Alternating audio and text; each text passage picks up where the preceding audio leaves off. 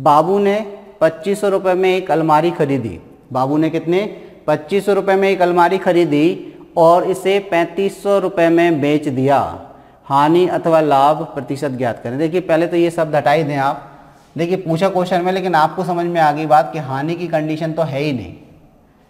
हानि की कंडीशन तो है ही नहीं। तो देखिए, बात क्या होती है? तो इन टर्म्स को हम समझ लेते हैं। सबसे पहले हम एक चीज़ समझ लेते हैं कि क्रय मूल्य क्या होता है। सबसे पहले हम क्या समझ लेते हैं? कि क्रय मूल्य क्या होता है।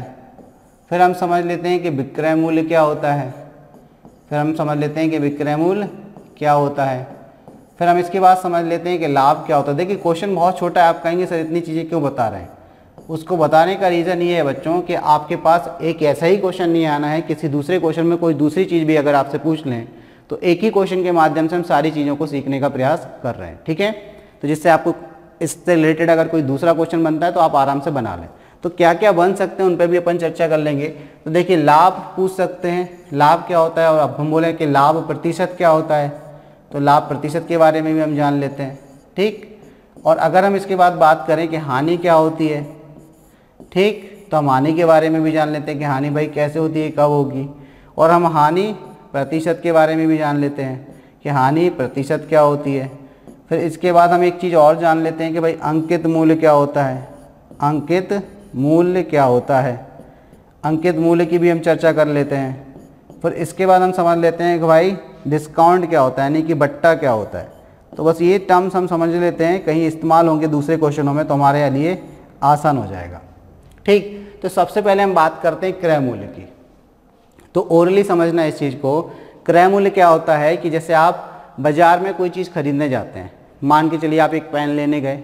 अब इस पेन के लिए आपने पाँच सौ रुपये दिए। कितने रुपए दिए? पाँच सौ रुपये तो आपने कितने में पेन खरीदा? पाँच सौ रुपये में। तो ये जो पाँच सौ रुपये हैं, ये क्या कहलाता है? क्रैमूल कहलाता है। मतलब किसी वस्तु को खरीदने के लिए आपको जितनी राशि देनी पड़ती है, वो राशि क्या कहलाती है? क्रैमूल। मतलब किसी वस्तु को खरीदने का जो मूल्य होता है, वो क्रैमूल कहलाता है। तो देखिए, क्रैमूल हमें समझ आ गया। ठीक? अब हम एक एग्ज़ाम्पल भी लेते जा रहे हैं साथ में कि हम पेन कितने का लाए? पाँच सौ रुपये का। ठीक है? तो हमने पाँच सौ रुपये का क्या ले लिया? एक पेन ले लिया। अब ये बात तो क्लियर हो गई। अब हम घर आए। पेन से सेटिस्फाई नहीं है। हमने कहा, यार अच्छा नहीं है पेन, क्या करें? तो हमने कहा, चलो बेच दो। तो हमारे किसी दोस्त ने हमसे बोल दिया कि, भाई, हमें पेन की आवश्यकता है। ये पेन ठीक है, हम चला लेते हैं। तो आप हमें दे दीजिए। तो दो केस हो सकते हैं हमारे साथ। क्या केस हो सकते हैं? कि जो हम 500 का लाए थे, या तो हम उसको कम में बेच दें। मान के चलिए, दोस्त अच्छा है। और हम भी चाह रहे हैं कि पेन निकल जाए, नहीं रखना चाह रहे तो हम या तो उसको साढ़े चार सौ में बेच दें या फिर उससे बढ़कर बेच दें। हमने पाँच सौ पचास में बेच दी। माई भी उससे बोल दिया कि हम कितने का लाए? पाँच सौ पचास का। या तो ये है कि हम अपने दोस्त से झूठ बोल दें कि हम पाँच सौ पचास का लाए और उसको पाँच सौ पचास में दे दें। ठीक तो झूठ बोलना तो भाई पाप है।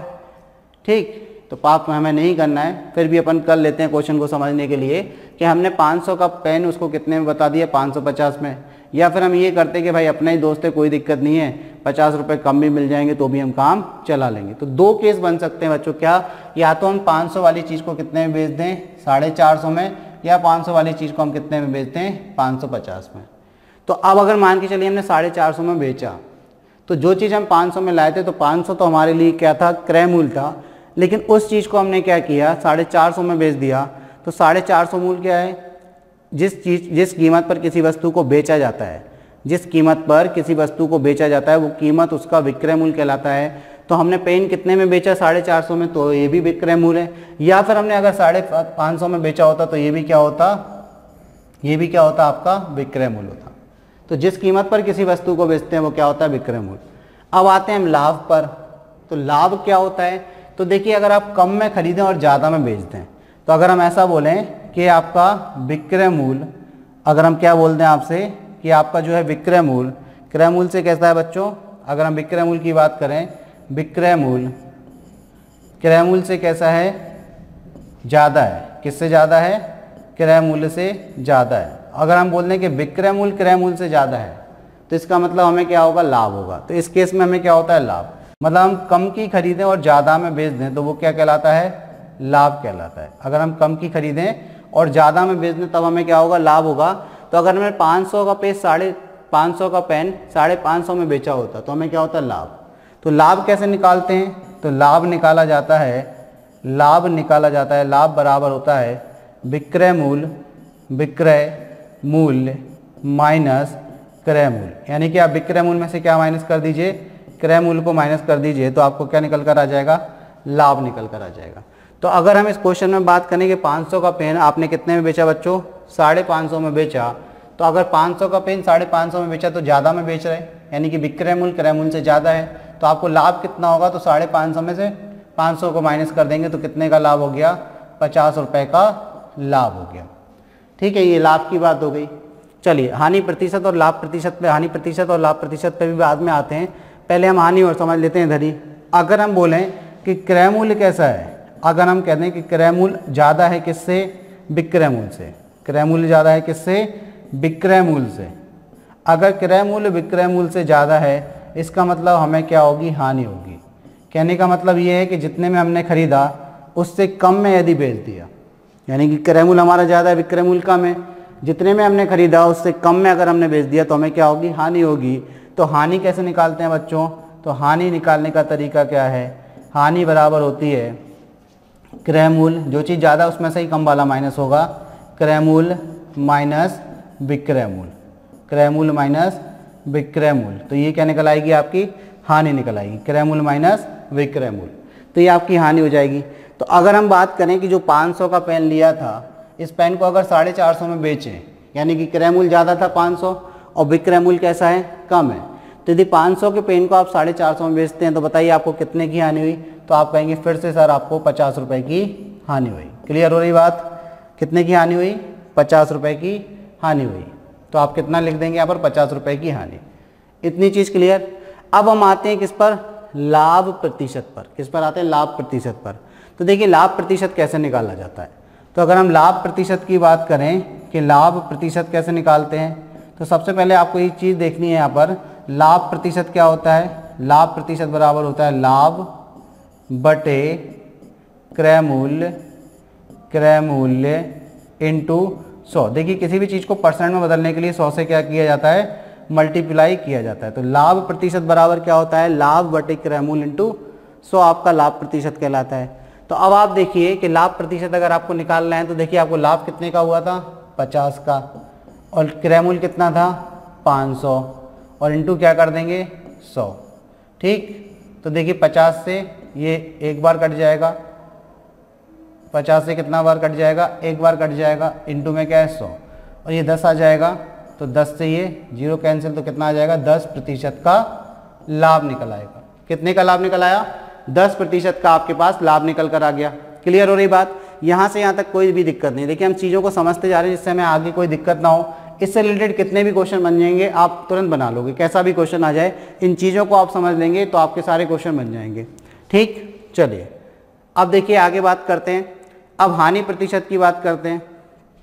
अब किसकी बात करते हैं? हानि प्रतिशत की। तो अगर हम हानि प्रतिशत की बात करें तो हानि प्रतिशत बराबर होता है हानि हानि बटे क्रय मूल्य, हानि बटे क्रय मूल्य इंटू क्या होता है? सौ। हानि इंटू क्रय मूल्य बटे सौ। हानि बटे क्रय मूल्य इंटू सौ। ये होता है आपका हानि प्रतिशत। ठीक है? तो हानि प्रतिशत भी देखिए सेम निकलता है कि जो आपकी हानि है वो भी किस पे निकलती है क्रय मूल्य पर और जो आपका लाभ है वो भी किस पे निकलता है क्रय मूल्य पर। यानी कि हानि और लाभ दोनों की गणना किस पर की जाती है? क्रय मूल्य पर की जाती है। तो यहाँ से हानि प्रतिशत आप निकाल सकते हैं। तो हमें परसेंटेज में देखना है। लाभ परसेंट का मतलब क्या है? लाभ तो हमें पचास रुपये में कितना हो रहा था? पचास का। लेकिन अगर हम उसको प्रतिशत में कन्वर्ट करें कितने प्रतिशत का हो रहा है तो दस परसेंट का।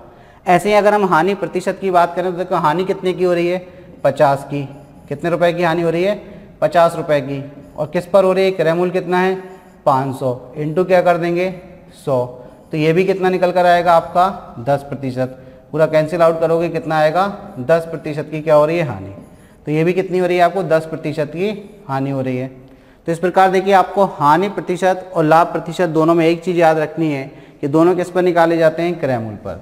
हानि प्रतिशत और लाभ प्रतिशत दोनों किस पर निकाले जाते हैं? क्रय मूल्य पर। इतनी चीज़ क्लियर अब हम आते हैं किस पर? अंकित मूल्य पर। तो अंकित मूल्य को हम लिस्ट प्राइज हम मार्क प्राइस भी बोलते हैं। लिस्ट प्राइस या मार्क प्राइस भी बोलते हैं। जब हम मार्केट में कोई चीज़ परचेज करने जाते हैं, कोई कंपनी का ब्रांड का आइटम आप लेते हैं तो आपने देखा होगा, उस पर एक मार्क किया हुआ प्राइज होता है। मतलब एक प्राइज उस पर लिखा हुआ रहता है। तो हम देख लेते हैं कि भाई कितने का, फिर हम देख लेते हैं उस पर डिस्काउंट है कि नहीं है।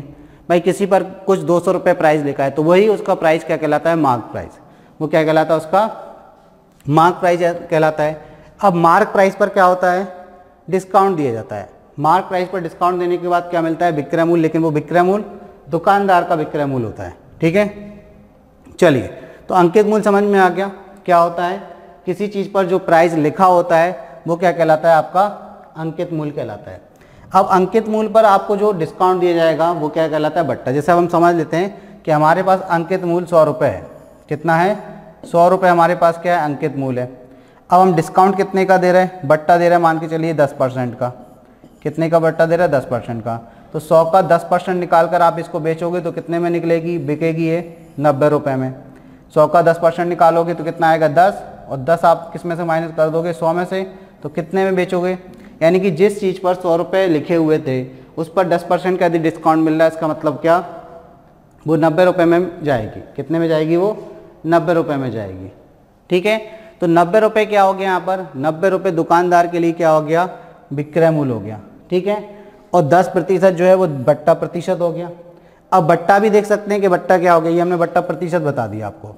कि बट्टा प्रतिशत क्या होता है? ठीक है बट्टा प्रतिशत दस परसेंट का लिया बट्टा प्रतिशत भी जानेंगे हम कैसे निकालते हैं। तो अगर हम बट्टे की बात करें इस क्वेश्चन में कि सौ रुपये की चीज़ पर आपने दस परसेंट का यदि बट्टा दिया तो बट्टा कितना दिया आपने? तो बट्टा आपने दिया सौ रुपये की चीज़ थी, नब्बे में बेच रहे यानी कि बट्टा कितने का दिया? दस रुपये का। डिस्काउंट कितने का दिया? दस रुपये का। बट्टा प्रतिशत कैसे निकालते हैं? तो इसको और समझ लें या डिस्काउंट परसेंट इसको बोलते हैं। तो डिस्काउंट परसेंट और समझ लें क्या होता है? डिस्काउंट परसेंट होता है आपका डिस्काउंट यानी कि बट्टा, यहाँ आप लिख सकते हैं, बट्टा, बटे मार्क प्राइस यानी कि एम पी यानी कि अंकित मूल्य इंटू सौ। ये आपका डिस्काउंट प्रतिशत होता है। डिस्काउंट प्रतिशत कैसे निकालते हैं? डिस्काउंट बते मार्क प्राइस यानी कि अंकित मूल्य इंटू सौ। तो इस प्रकार हम डिस्काउंट प्रतिशत, यानी कि बट्टा प्रतिशत भी निकाल सकते हैं। ये सारी बात हमें समझ में आ गई। अब अपने क्वेश्चन को थोड़ा सा देखें, वो कह रहे हैं कि बाबू ने पच्चीस सौ रुपये में एक अलमारी खरीदी और उसे पैंतीस सौ रुपये में बेच दिया। हानि अथवा लाभ प्रतिशत ज्ञात करें। तब आप बताइए, सबसे पहले तो खरीदी कितने में थी? क्या चीज़ खरीदी? अलमारी। तो अगर हम बात करें, बाबू ने अलमारी खरीदी, कितने में खरीदी? पच्चीस सौ रुपये में। तो अलमारी का क्रय मूल्य कितना दिया आपको? तो आपको अलमारी का क्रय मूल्य कितना दिया? तो अगर हम क्रय मूल्य की बात करें तो इसको सीपी बोलते हैं, यानी कि कॉस्ट प्राइस क्रय मूल्य कितना दिया अलमारी का? पच्चीस सौ रुपये बाबू ने कितने में खरीदी? पच्चीस सौ रुपये में। ठीक? तो पच्चीस सौ रुपये तो आपको क्या दिया है? क्रय मूल्य इतनी बात क्लियर? अब बेचा कितने में उसने? अलमारी को तो विक्रय मूल्य कितना दिया है? विक्रय मूल्य कितना दिया है आपको? तो विक्रय मूल्य आपको दिया है पैंतीस सौ रुपये यानी कि पच्चीस सौ रुपये की चीज़ को कितने में बेच रहे हैं? पैंतीस सौ रुपये में बेच रहे हैं। तब तो आप बताइए, पच्चीस सौ ज़्यादा होते हैं कि पैंतीस? सौ पैंतीस सौ ज़्यादा होते हैं तो हमारा विक्रय मूल्य क्रय मूल्य से कैसा है? ज़्यादा है। तो हम अभी सीख क्या रहे हैं भाई कि अगर विक्रय मूल्य क्या है विक्रय मूल्य क्या है बच्चों?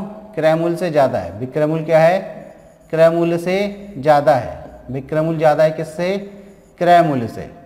तो इस केस में क्या होता है? इस केस में हमेशा क्या होता है? लाभ होता है। क्या होता है? लाभ होता है। तो लाभ प्रतिशत कैसे निकालते हैं? तो लाभ प्रतिशत बराबर होता है लाभ लाभ बटे लाभ बटे क्या कर देंगे? क्रय मूल्य क्रय मूल्य इंटू क्या कर देंगे? सौ।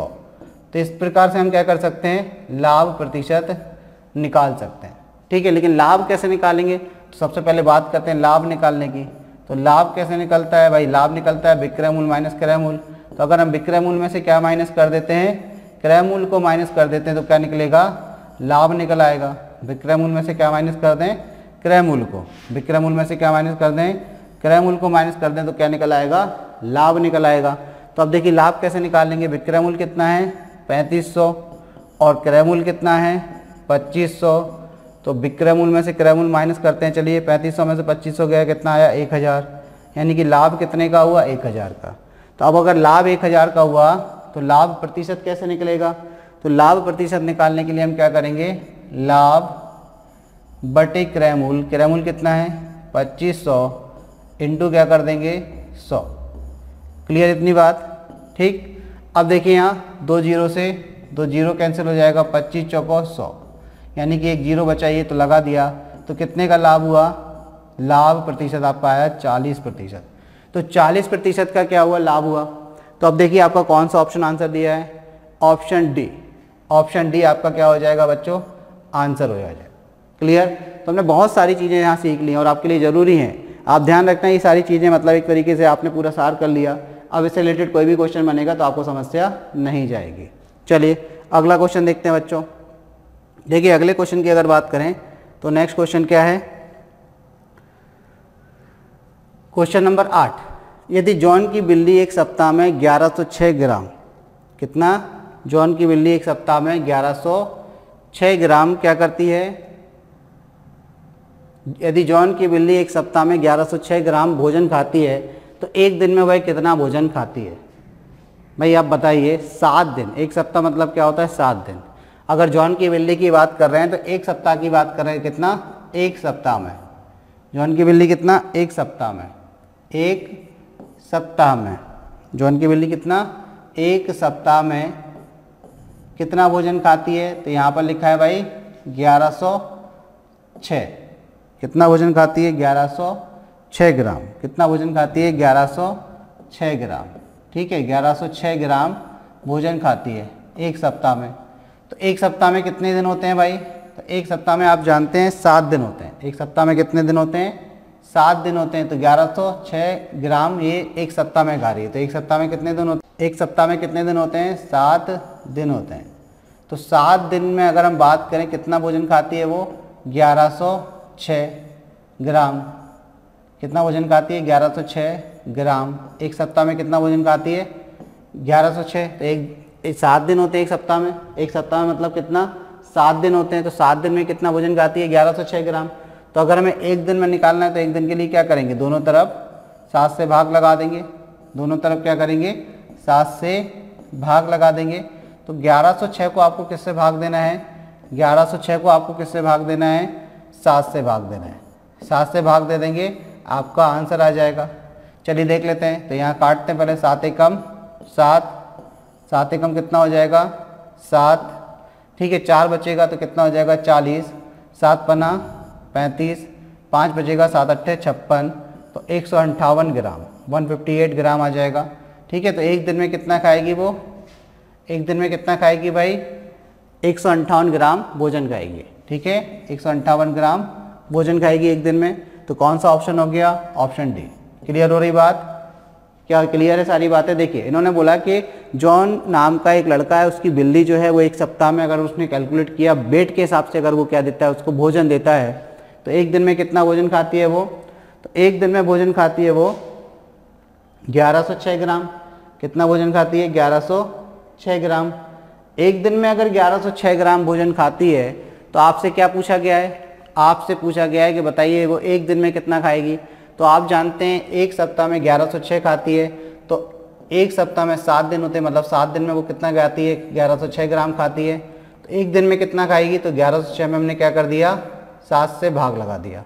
सात से भाग दिया तो सात एकम सात हो गया, ठीक है? और पाँच बार भाग गया। तो एक ग्राम। कितना भोजन खाती है? एक ग्राम। तो ये आपका आंसर हो गया। यानी कि 158 ग्राम खाती है वो कितना? एक सप्ताह में। क्लियर हो रही बात? यहाँ से यहाँ तक कोई दिक्कत? बिल्कुल भी नहीं। चलिए तो अब नेक्स्ट क्वेश्चन देखते हैं कि अगला क्वेश्चन क्या है। चलिए देखिए बच्चों, अगला क्वेश्चन देखते हैं। अगला क्वेश्चन है क्वेश्चन नंबर नाइन वह सबसे छोटी वर्ग संख्या ज्ञात करें, जो छः सात एवं पंद्रह प्रत्येक से विभाज्य है। चार ऑप्शन आपको गिवन है। देखिए बच्चों, यहाँ बात कर रहे हैं कि आपको वो सबसे छोटी संख्या बतानी है। जो छः से भी, सात से भी और पंद्रह से भी विभाज्य हो, और साथ में वो क्या है, वर्ग संख्या हो। वर्ग संख्या की अगर हम बात करें तो हम इसको बोलते हैं परफेक्ट स्क्वायर क्या बोलते हैं इसको हम? परफेक्ट स्क्वायर तो परफेक्ट स्क्वायर नंबर चाहिए हमें। तो अगर हम बात करें वर्ग संख्या, यानी कि हमें परफेक्ट स्क्वायर चाहिए। तो अगर परफेक्ट स्क्वायर की बात करें तो कौन सी संख्या परफेक्ट स्क्वायर होती है, जिनका आप क्या कर सकते हैं, वर्गमूल निकाल सकते हैं क्यूब रूट निकाल सकते हैं। जैसे हमने बोला सोलह। सोलह एक क्या है? वर्ग संख्या है। या पूर्ण वर्ग संख्या भी कहलाती है। अगर हम बोले छत्तीस तो ये भी क्या है, एक वर्ग संख्या है, क्योंकि इसके आप वर्गमूल निकाल सकते हैं। छत्तीस का वर्गमूल छः आता है। अगर हम सोलह के वर्गमूल की बात करें तो कितना? चार आता है। तो ये सभी क्या है, आपकी वर्ग संख्या होती है। तो अब इन्होंने क्या क्वेश्चन दिया है? इन्होंने क्वेश्चन दिया कि वह सबसे छोटी वर्ग संख्या ज्ञात करें। मतलब जो चार ऑप्शन आपके पास हैं, उनमें से आपको क्या करना है, एक वर्ग संख्या ज्ञात करनी है। साथ ही आपको वो कंडीशन भी दे रखी है कि वो छः से भी, सात से भी और पंद्रह से भी विभाज्य तो देखिए, सबसे अच्छा तरीका इसका क्या है क्वेश्चन का, कि अगर इन्होंने बोला है कि वो संख्या छः से, सात से और पंद्रह से, इनमें से प्रत्येक से विभाज्य और सात में वर्ग संख्या है। तो या तो आपको पता होना चाहिए कि वर्ग संख्या होती क्या है मतलब इसका वर्गमूल निकाल सके। तो इंडिविजुअली सबसे पहले आप क्या करना छः से, सात से और पंद्रह से भाग दे के देख लेना। आप सबसे पहले ऑप्शन में क्या करिए, जैसे पहला ऑप्शन हम लेते हैं, बाईस हज़ार पाँच सौ साठ। अब इसमें आप क्या करो, पहले छः से भाग लगा दो। अगर छः से भाग चला जाता है तो ये हमारी वर्ग संख्या हो सकती है। फिर हम सात से और पंद्रह से भाग दे के देख लें। एक तरीका ये है कि हम ऑप्शन से उठाएँ चीज़ों को। तो देखिए छः की विभाजता का नियम देख लेते हैं। छः की विभाजता का नियम क्या होता है? अगर इसमें तीन से और दो से, दोनों से भाग चला जाए तो चूँकि इसके इकाई का अंक क्या है बच्चों? ज़ीरो है। तो इसमें दो से तो हंड्रेड परसेंट भाग जाएगा। अब तीन की विभाजता का नियम क्या होता है? तो हम यहाँ तीन के मल्टीपल देखेंगे कौन कौन से तो देखिए, तीन का मल्टीपल एक छः हो गया। पाँच और चार कितना हो जाएगा? ये दो और पाँच, चार, नौ तो ये तीन से भी भाग जा रहा है, यानी कि छः से भाग इसमें चला जाएगा। अब हम देखते हैं सात का नियम। इसमें हम क्या करेंगे अब? सात से भाग देकर देखेंगे। अब हमें सात से भाग देकर देखना है तो हमें सात की विभाजता पता होना चाहिए। तो देखिए, अगर आपको व्यवस्था पता है तो बहुत अच्छी बात है, और नहीं पता है तो आप सीधा सात से भाग लगा दीजिए। तो सात से भाग देते हैं तो सात एकम सातिया इक्कीस हो जाएगा। सातिया इक्कीस तो ये तो आपका हो गया सातिया इक्कीस और इसके बाद देखिए, एक बचेगा तो सात दूनी, चौदह। अब एक बचेगा तो सोलह हो जाएगा, भाग नहीं जाएगा तो सात से भाग नहीं जा रहा। यानी कि ये ना पूर्ण वर्ग संख्या हो सकती है, ना वो संख्या हो सकती है। अगर ये पूर्ण वर्ग है भी तो ये वो संख्या नहीं है जो हमें चाहिए। क्योंकि क्वेश्चन में बोला है कि वो संख्या ज्ञात करें, जो पूर्ण वर्ग तो हो ही हो, और साथ में क्या हो, उसमें छः सात और पंद्रह से भाग जाता हो। तो छः से तो भाग जा रहा था, लेकिन सात से नहीं जा रहा तो यही ये कैंसिल हो गया। तो हमारा पहला ऑप्शन तो हट गया। ठीक? पहला ऑप्शन हमने हटा दिया। दूसरा ऑप्शन देते हैं छः सौ तीस। तो छः सौ तीस जो संख्या है देखिए इसमें छः से भाग चला जाएगा, सात से भाग चला जाएगा और पंद्रह से भी भाग चला जाएगा। लेकिन ये पूर्ण वर्ग संख्या नहीं है, क्योंकि 630 को अगर आप लिखोगे तिरसठ इंटू दस और इसका क्या निकालने जाओगे? वर्गमूल निकालने जाओगे। तो ये नौ सात तिरसठ होता है और ये दस को आप तोड़ोगे पाँच इंटू दो के रूप में। तो अब आप बताइए, नौ का वर्गमूल तो बाहर आ जाएगा, बाकी सब तो अंदर रहेगा। तो ये भी ऑप्शन आपका आंसर नहीं हो सकता तो ऑप्शन बी भी हट गया। तो अब हम बात करते हैं अगले ऑप्शन पे, यानी कि चार सौ इकतालीस। तो आपको पता है कि इक्कीस का वर्ग कितना होता है? इक्कीस का वर्ग चार सौ इकतालीस होता है। इक्कीस का वर्ग कितना होता है? चार सौ इकतालीस होता है। तो अगर हम 441 को इस तरीके से लिखें कि 441 सौ इकतालीस इंटू सौ तो पहले तो हमने ये चेक कर लिया कि ये पूर्ण वर्ग है कि नहीं। क्योंकि तुरंत दिख रहा था, मैं जिस चीज़ की जानकारी है, उसको हम इस्तेमाल कर सकते हैं, ठीक है? तो देखिए बच्चों, यहाँ पर क्या आ गया? चार सौ इकतालीस, यानी कि ये तो आ गया इक्कीस, और बाहर कितना आ गया? दस। तो यानी कि दो सौ दस का वर्ग यदि आप करेंगे तो आपको क्या मिलेगा? ये वाली संख्या मिल जाएगी, ठीक है? जो आपके पास थी इंटू में क्या लिख लीजिए, यहाँ पर सौ लिख लीजिए, ठीक? तो आपको क्या मिल जाएगा? चवालीस हज़ार एक सौ मिल जाएगा। लेकिन कंडीशन क्या है कि भाई इसमें छः से सात से और पंद्रह से भाग जाना चाहिए। तो देखिए छः से भाग देखिए। छः से भाग के लिए आप क्या करेंगे? दो की व्यवस्था का नियम और तीन की व्यवस्था का नियम चेक करेंगे। तो इसमें दो से तो भाग जा रहा है, क्योंकि इकाई का अंक क्या है? शून्य है।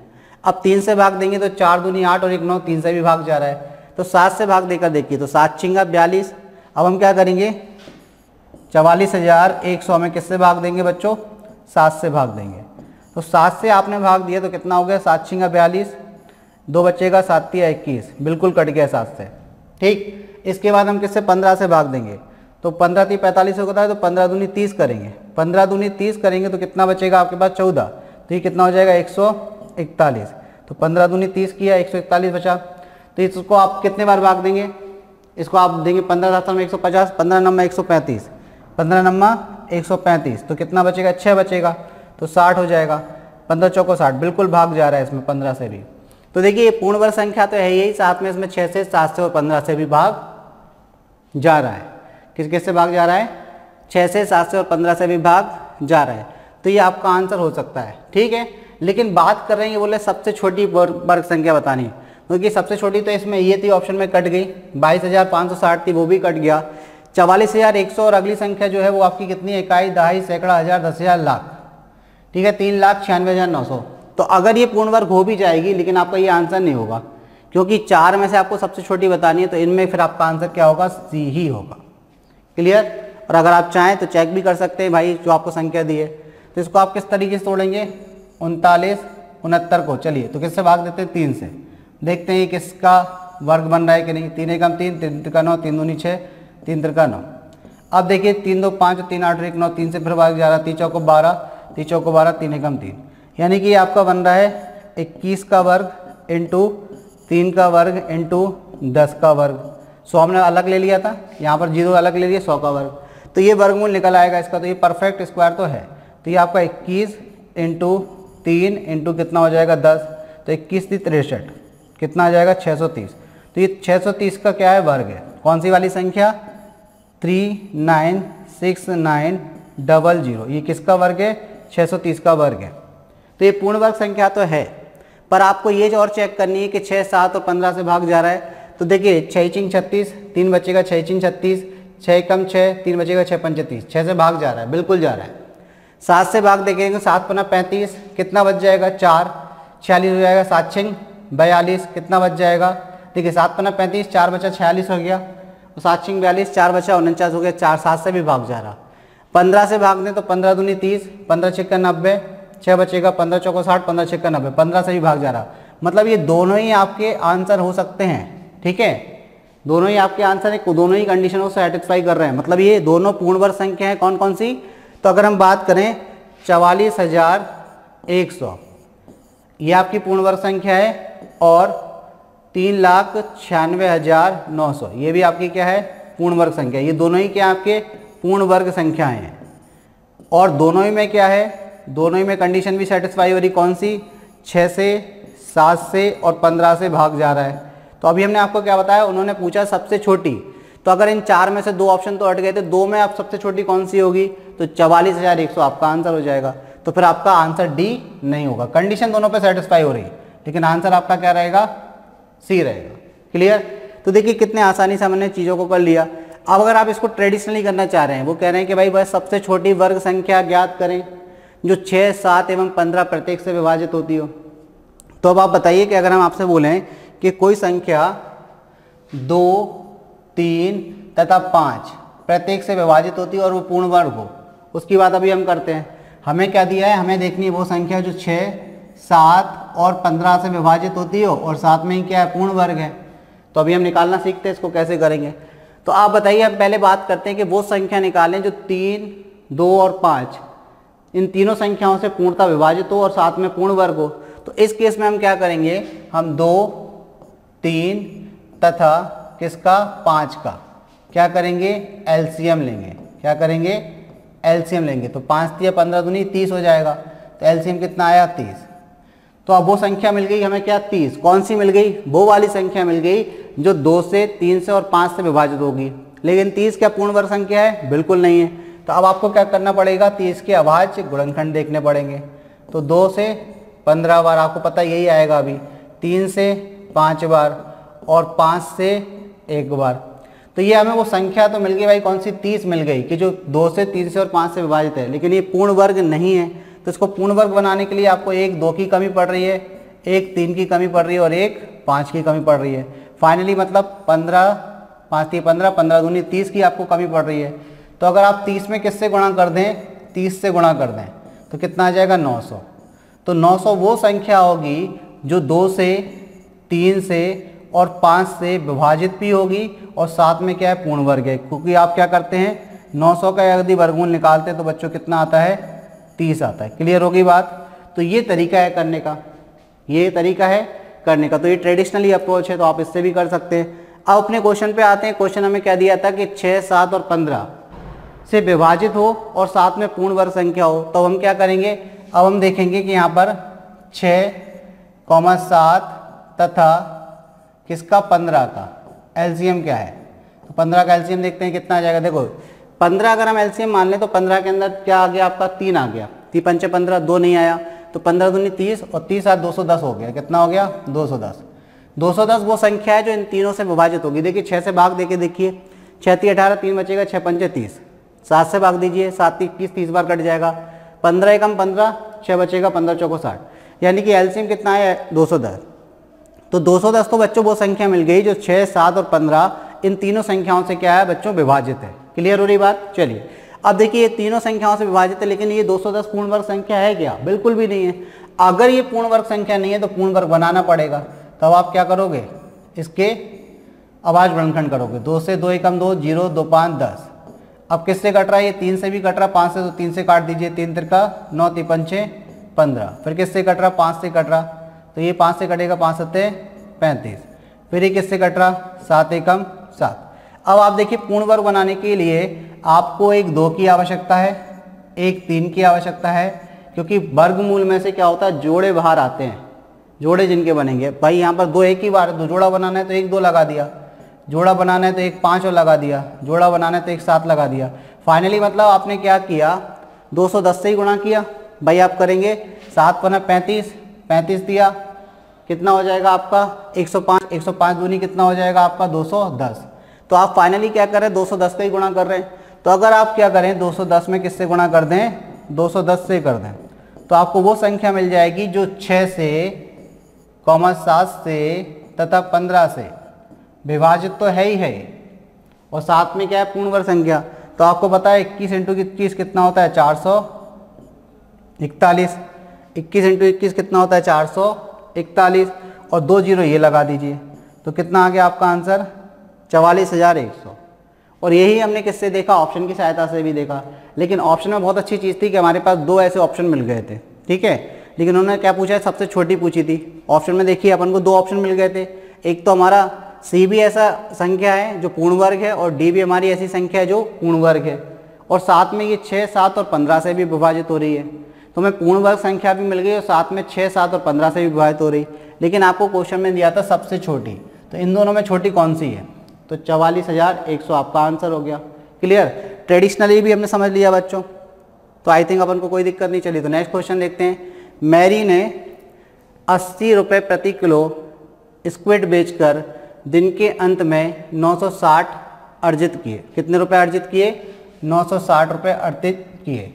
मैरी ने कितने अस्सी रुपये प्रति किलो स्क्विड बेचकर। ठीक है?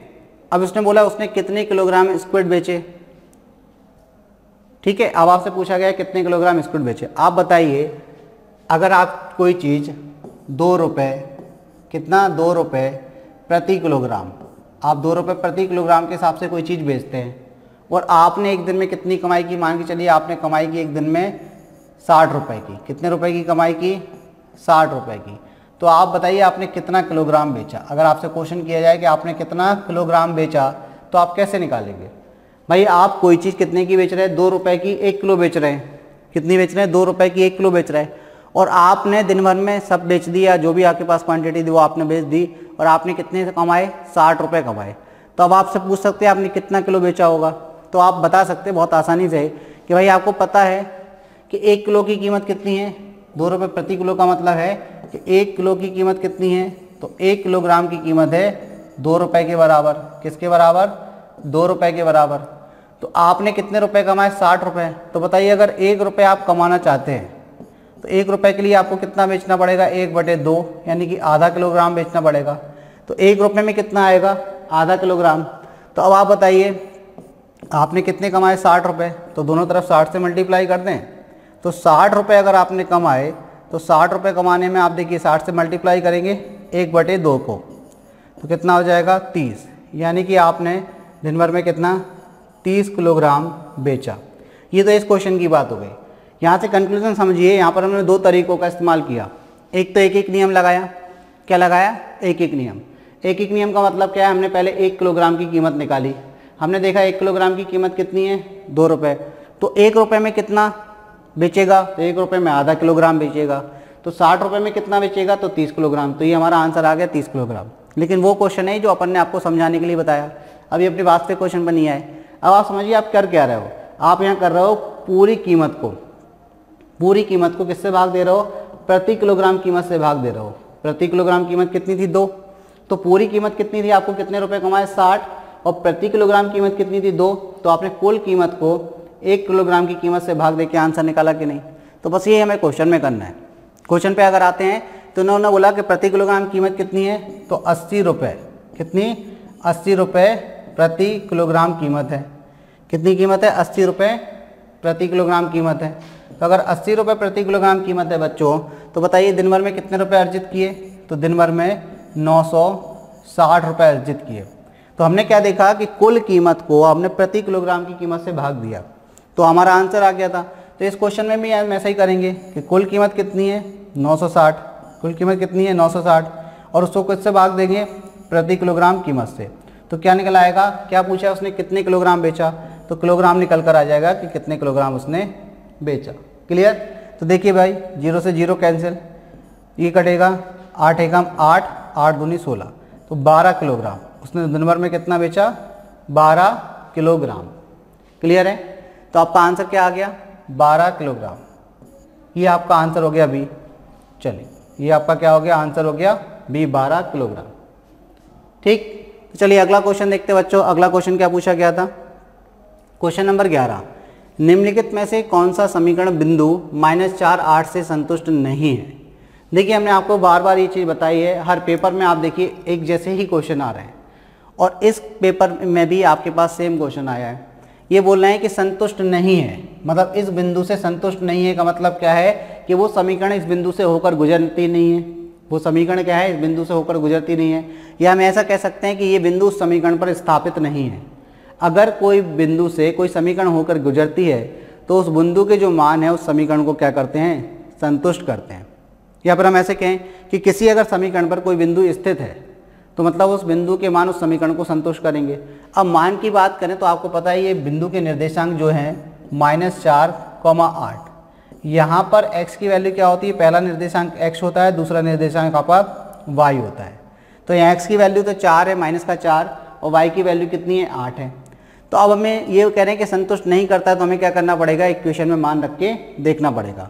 तो सबसे पहले हम क्या करेंगे बच्चों? पहला समीकरण जो हमें दिया है, पहला ऑप्शन अपना वो ले लेंगे। हमें पहला ऑप्शन दिया है two X plus three Y two X plus three Y बराबर कितना दिया? सोलह.